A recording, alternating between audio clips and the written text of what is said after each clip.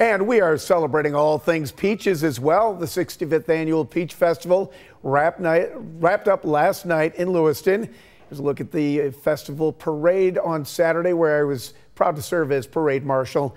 And yesterday, 12 hopefuls came together at Academy Park for the chance to become this year's Peach Queen. 2 On Your Side's, Mary Alice Demler served as MC.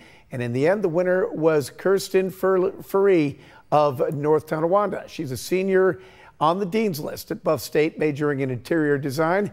And she also won a $4,000 scholarship from the Lewiston Kiwanis. So, congratulations.